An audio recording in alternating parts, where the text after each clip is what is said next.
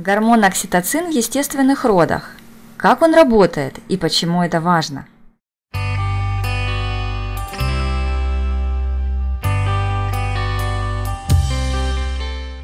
Я думаю, что практически все э, собравшиеся вокруг этого фестиваля женщины и мужчины неоднократно наслышаны о волшебном гормоне окситоцине и его действиях.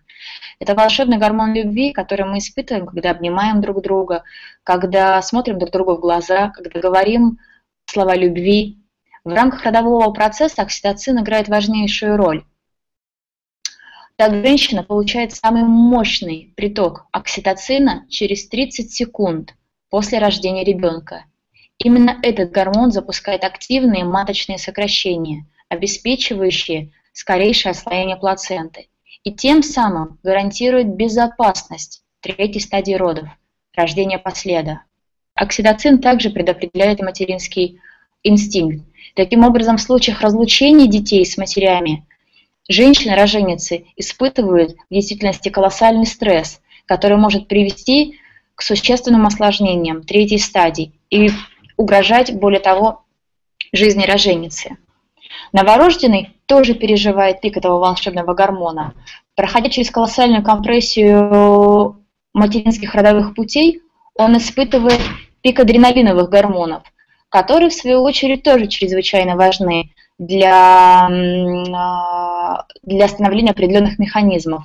Адреналиновая система, она запускает процессы метаболизма э, накопленных жиров в доступные формы энергии, а также обеспечивает оптимальное питание головному мозгу, как бы перекачивая от периферии к центру. Но дело в том, что в ближайшие минуты после родов завышенный уровень адреналина должен в обязательном порядке быть компенсирован окситоцином, с тем, чтобы накопленные энергетические ресурсы не были растрачены слишком быстро, потому что тем самым малыш будет просто скомпрометирован. И уровень окситоцина в крови малыша повышается только в непосредственном телесном контакте с его мамой. Вот почему так важно оставлять новорожденного на голой груди у мамы. И нет никаких весомых причин для их разлучения. Когда же ребенка отлучают от матери, забирая на осмотр, в детскую комнату, на процедуры, тот переживает колоссальный стресс. Потому что новорожденным им неведомо понятие времени. И если малыша унесли, то все, что он знает, это то, что мама далеко, мама недосягаема. И когда это прекратится и закончится ли вообще, ему неизвестно.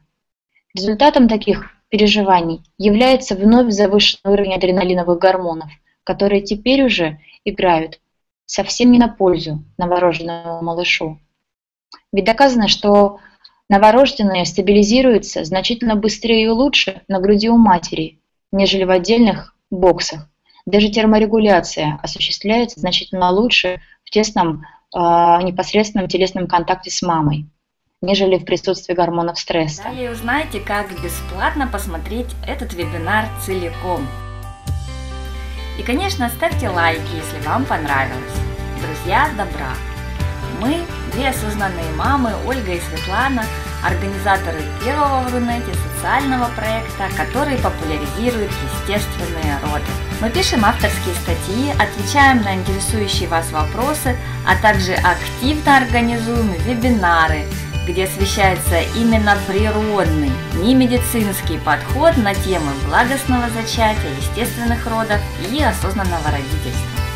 Вы можете узнать больше о проекте «Чудо в сердце» и получить сразу бесплатный доступ к более чем 100 вебинарам, в которых эксперты-помощники из 22 стран вдохновляют и служат вам во имя чуда рождения в мире. Для этого нажимайте на кнопку, которую вы видите на экране. Станислав Ежелец говорил, ребенок рождает родителей.